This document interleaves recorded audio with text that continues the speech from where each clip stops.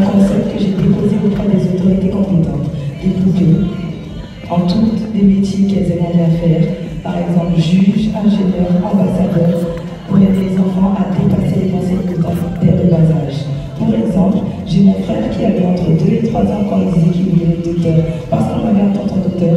Aujourd'hui, il est chirurgien, chef de service, il passe aux informations à la télé et il est inscrit de médecine. Aujourd'hui, lorsqu'on a une vision et un exemple dès le bas âge, ça nous propulse Chose que je souhaite véhiculer à nos enfants au travers de la poupée qui leur ressemble.